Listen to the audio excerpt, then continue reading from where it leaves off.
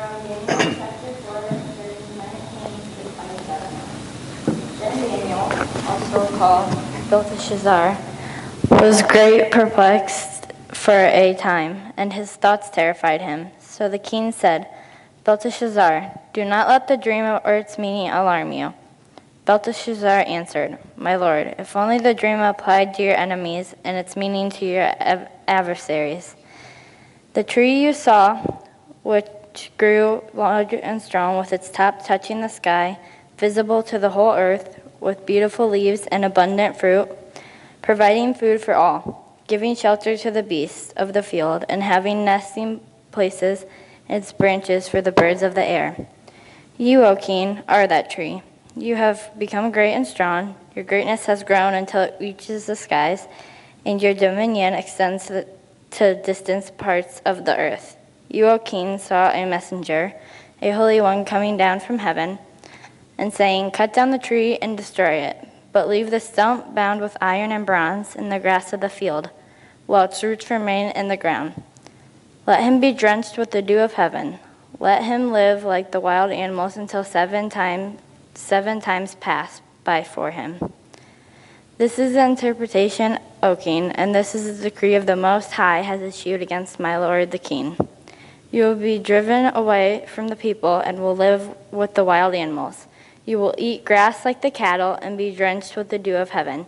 Seven times will pass by for you until you acknowledge that the Most High is sovereign over the kingdoms of men and gives them to anyone he wishes. The command to leave the stump of the tree with its roots means that your kingdom will be restored to you when, the, when you acknowledge that heaven rules. Therefore, O king, be pleased to accept my advice. Renounce your sins by doing what is right, and your wickedness by being kind to oppressed. It may be that then you pro- your prosperity will continue. This is the word of the Lord. Thanks be to God. Let's pray. Lord, may the words of my mouth and the meditations of all our hearts be acceptable in your sight. May my words be your words and your words be my words. And may this message glorify and praise you. In Jesus' name, amen. God is in control. I am not in control. Pastor Brian is not in control. Excuse me, honey, but you're not in control either. I told first service, I said that. I said, please don't tell her I said that. I thought I had to put that in. President Trump is not in control. Congress is not in control. President Putin is not in control. God is in control. This next one may shock you. Hold on to your hats. You may need to hold the hand of the person sitting next to you, but here it is. You are not in control. The book of Daniel, in my, part, in my opinion, is about four people believing so totally that God is in control and then so living their lives as to reflect that belief. As by way of uh, review, the first chapter of Daniel is about Daniel and Hananiah and Mishael and Azariah believing in God and then living that belief and demonstrating their integrity. The Babylonian army under King Nebuchadnezzar besieged the capital city of Jerusalem and overtook it. Then they took as captives the upper class of the peoples. They actually conquered Jerusalem three times, but this first time is the one we're talking about when they took Daniel and his three friends along with the others captivity. When they were, these four were only youths, 15, 16, 18, we don't know, but they were just youths. You know from Pastor Brian's message how they didn't want to oppose God by eating food that had been sacrificed to the idols, and how they were proven right and were shown to be, after questioning by the king, to be wiser by ten times than any other in the kingdom. In the second chapter, Daniel illustrates God's sovereignty by interpreting the king's dream after appealing to God to give him the interpretation. Notice King Nebuchadnezzar's responses. In the first chapter, the king is highly impressed with the four and installs him in the court in some unspecified but official capacity. In the second chapter, the king, after Daniel revealed the answer that he received from God of the king's dream, the king falls on his face before Daniel gives him gifts and says, Truly, your God is the God of all gods, and Lord of kings and revealer of mysteries, for you have revealed this mystery. Then he promotes Daniel to rule over the whole province of Babylon, much like Joseph was made ruler over the whole of Egypt second only to Pharaoh at the time. Daniel, then, while the king is still in the giving mood, asks the king, and the king then appoints Shadrach, Meshach, and Abednego over the affairs of the province. So they become administrators, and Daniel is in the king's court. The third chapter, as Pastor told us, demonstrates the devotion of the three despite the terrible threats from the king who must have a very short memory because he was just promoted them in the last chapter, in chapter 2 that we just talked about. Of course, we don't know specifically the passage of time because, after all, it must have taken some time to build that 90 foot by 9 foot statue that the king ordered everyone to bow down and worship. Anyway, after the boys come out of the fire unscathed, thanks be to God, King Nebuchadnezzar falls all over himself again, proclaiming, Blessed be the God of Shadrach, Meshach, and Abednego, who has sent his angel and delivered his servants who trust in him. Then he says, Therefore I make a decree. Any nation or people who utters blasphemy against their God will be torn limb from limb and he promotes them again. Now, this brings us to chapter 4. King Neb has another dream. I was living in ease at my home, he says, and prospering in my palace. I saw a dream that frightened me. My fantasies in bed and the whole visions of my head terrified me. Here is this man who some scholars say was a most cruel tyrant. Some say that before Daniel got back to him about the first dream, he had killed some of his counselors simply because they couldn't tell him his dream, let alone the interpretation. Some say 30 years had passed between the two dreams. But this king, who was king over the largest dynasty at the time, the top dog, was afraid because of this dream. He calls all of his wise men and counselors in and this time tells them the dream. Remember the first time he said, You tell me the dream and then tell the interpretation.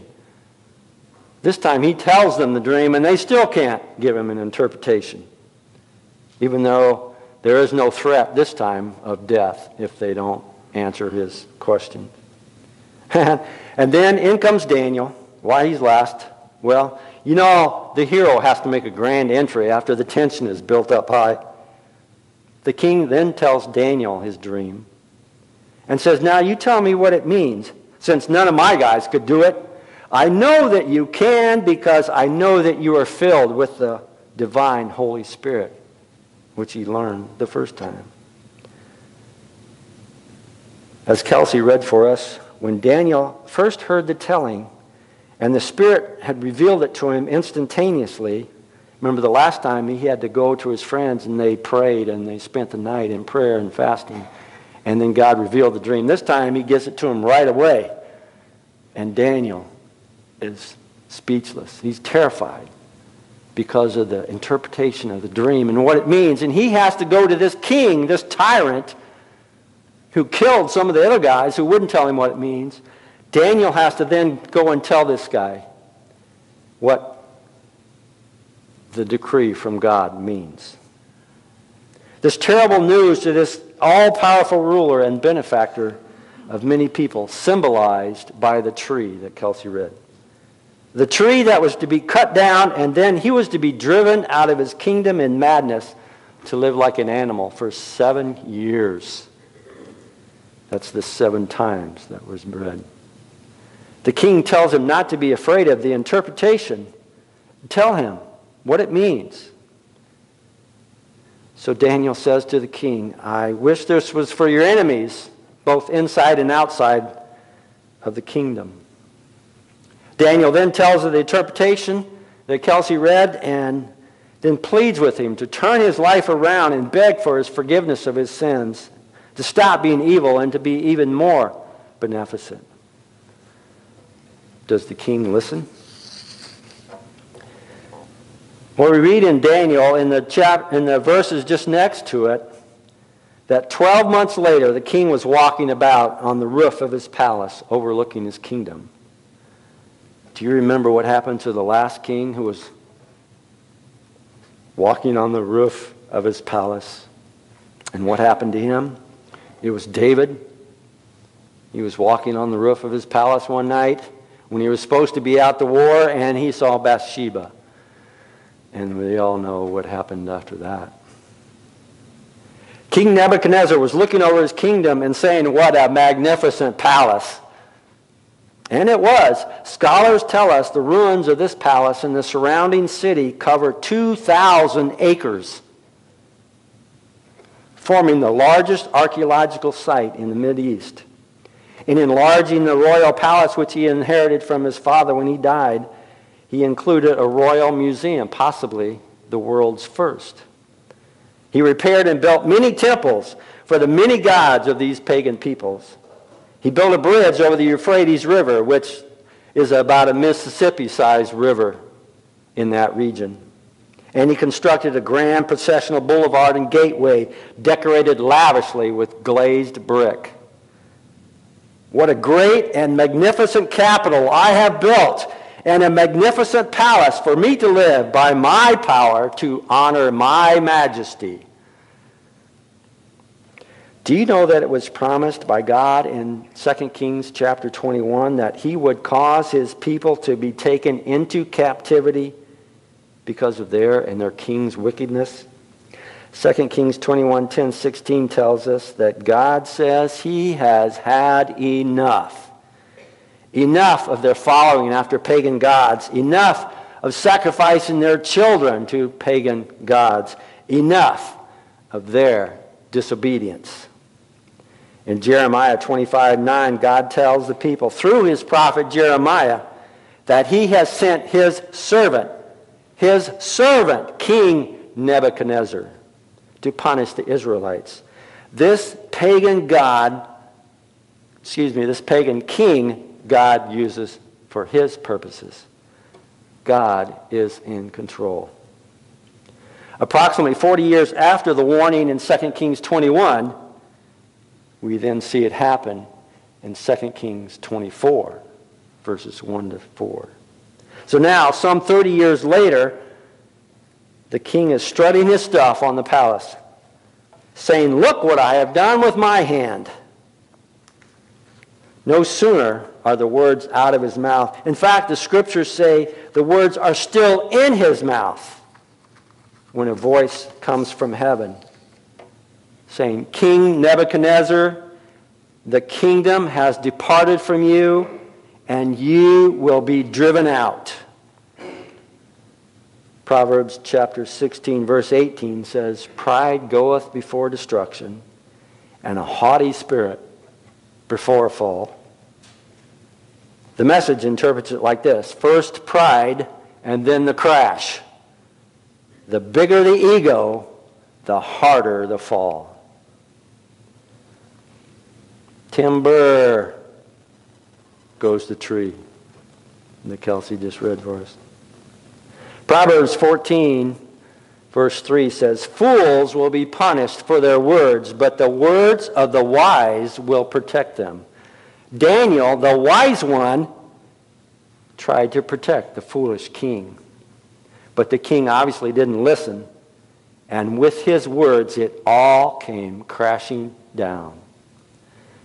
The message states it this way It happened at once. Nebuchadnezzar was driven out of human company, ate grass like an ox, and was soaked in heaven's dew. His hair grew like the feathers of an eagle, and his nails like the claws of a hawk. Hi, my name is Hank, and I'm a procrastinator. This is, you know, like AA, you're supposed to respond. Hi.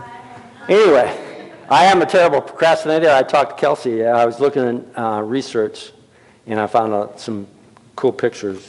And I said, I was asking her how he would do that. And she said, well, just Well, I never got around to the sermon until this morning, so I didn't have time to do pictures. But when I was looking at, there's these pictures of this man on hands and knees, and his hair was, and his beard was, and his nails were out like this, and there was grass in his mouth. There are, you know, all different kinds of ways that you could do it, and and I actually saw, and I actually saw pictures of modern day.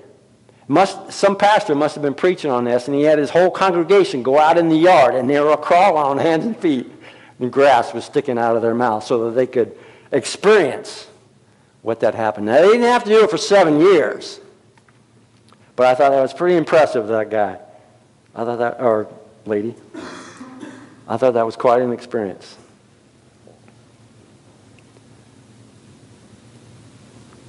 God said, first to the Israelites, I've had enough of your disobedience. Then he says to Nebuchadnezzar, I am in control, you are not. Nebuchadnezzar doesn't listen. Happens just like it said. And then, as foretold in his dream, at the end of seven years, I, Nebuchadnezzar, looked into heaven. I was given my right mind, and I blessed the high God, thanking and glorifying God who lives forever, this pagan God who'd served, believed in many gods God of this, God of that, God of that, God of that. All kinds of evil ways that they worshiped these gods.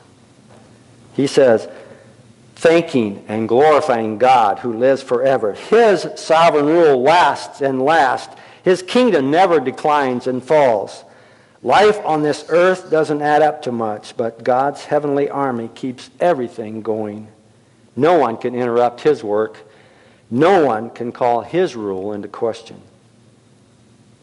This pagan king, who before had worshipped many gods, who was cruel to the people he conquered, now sees the one God as God of all. In the earlier chapters, we see the prog- progression of his realization of God. Now it is complete. Or almost, maybe. Did he confess his sins and become a true believer in God? The only God? At the same time that I was given back my mind, I was also given back my majesty and splendor, making my kingdom shine. All the leaders and important people came looking for me. I was reestablished in my kingdom and became greater than ever. And that is why I am singing. I, Nebuchadnezzar, singing and praising the King of heaven. Everything he does is right, and he does it the right way. He knows how to turn a proud person into a humble man or woman. Humility. The first shall be last, and the last shall be first. Maybe you've heard that one before. True humility is not thinking less of yourself, but thinking of yourself less. I'd written that in this message, and then I got this, and it's on the front from C.S. Lewis. Thank you, C.S. And I give him credit so I can say it. Thinking of yourself less. 1 Peter 5, verse 5 says in part, All of you must clothe yourself with humility in your dealings with one another, for God opposes the proud and gives grace to the humble. Numbers chapter 12, verse 3 tells us, Now the man Moses was very humble, and we know how he was and is still regarded. In Matthew, we are told of Jesus, For I am gentle and humble of heart. And also, he was humble and mounted on a donkey. Where do you rank on the humbleness quotient? Is it true or is it false humility? Is it all of the time or only in certain circumstances? Are you looking not to be served, but to serve? Praise God.